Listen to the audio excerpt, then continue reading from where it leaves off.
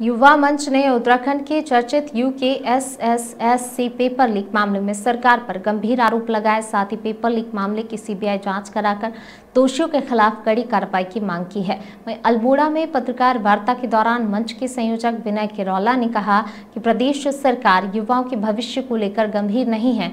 मेहनत का युवा सालों की मेहनत के बाद किसी एग्ज़ाम को पास करता है और इस तरह पेपर लीक होने के बाद युवाओं के साथ भद्दा मज़ाक किया जा रहा है। उन्होंने कहा कहा, युवाओं का भविष्य सुरक्षित हो, इसके लिए सरकार रोज़गार कैलेंडर जारी करे। भर्तियों में किसी प्रकार की कोई अनियमितता और गड़बड़ियाँ ना हो, इसके लिए परीक्षा कराने वाले संबंधित आयोग पर जाँच एजेंसी बिठाई जाए और जिलों में इसके लिए जिलाधिकारी और एसपी की ज़िम्मेदारी तय की जाए। अल्मोड़ा से नसीम अहमद की रिपोर्ट।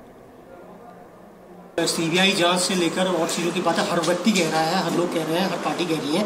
तो हमारा एक मानना यह है कि आगे भविष्य में क्या गारंटी है कि भाई इस तरह के घोटाले नहीं होंगे तो उसको लेकर हम लोगों को, युवाओं को लामबंद भी करेंगे। बेशक ये विषय रहेगा कि इसकी सीबीआई जाँच हो और साथ ही साथ पूरे साल भर का कैलेंडर जारी किया जाए पेपरों का, एग्ज़ाम का।